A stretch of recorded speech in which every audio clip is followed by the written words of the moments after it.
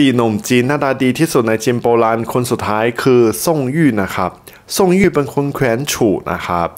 เเขามีเรื่องเล่าสองเรื่องที่ดัง ๆนะครับ เรื่องเล่าแรกนะครับ ก็คือซ่งยู่เป็นคนที่หน้าตาดี งดงามแล้วก็ฉลาดด้วยนะครับมีความสามารถจนมีคนนังคนหนึ่งที่ชื่อว่าเติ้งถูจื่ออิจฉาเขานะครับ ก็เลยไปฟ้องต่อกษัตริย์แคว้นฉูว่าเนี่ยซ่งยู่เป็นคนหื่นกามนะครับ แล้วกษัตริย์แคว้นฉูก็เรียกเขาเข้ามาเข้าพบนะครับแล้วก็บอกว่าเนี่ยมีคนบอกว่าคนเป็นคนหึงกาม คนจะแก้ตัวอะไรไหม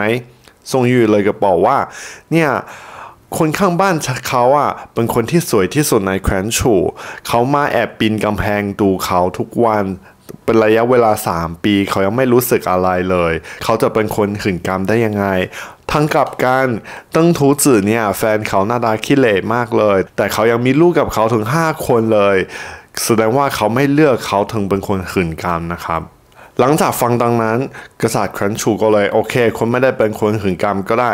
แต่ว่าซ่งยู่เป็นคนเจ้าคิดเจ้าแค้นนะครับ กลับไปก็แต่งบทกรกรหนึ่งนะครับ เกี่ยวกับตั้งชูเจือหึงกามนะครับถ้าแปลตรงๆ จนตั้งทูจือจนถึงยุคปัจจุบันก็มีความหมายว่าคนหึงกามนะครับ ต่อไปนะครับก็เป็นเรื่องราวความรักของซ่งยู่นะครับ ว่ากันว่าตอนที่ซ่งยู่รับใช้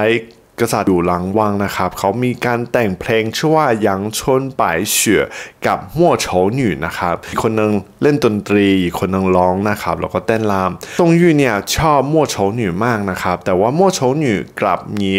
คนที่เขารักนะครับ และจนในที่สุดมั่วโฉหน่ก็ได้จบชีวิตลงเพื่อความรักด้วยนะครับ สุดท้ายแล้วเนี่ยปล้ำปลายชีวิตของทรงยู่ถึงเป็นคนที่อายุยาวนานที่สุดในสี่หนุ่มหน้าตาดีนะครับ แต่ว่าเขาอะก็ไม่ประสบความสำเร็จอะไรเลย ไม่ว่าจะเป็นทั้งความรักหรือว่าการงานของเขานะครับ อันนี้ก็คือเรื่องราวของซ่งยื่นะครับ เริ่มต่อไปอยากฟังเรื่องอะไรอีก สามารถคอมเมนต์ด้านล่างได้นะครับ แล้วเจอกันครับ สวัสดีครับ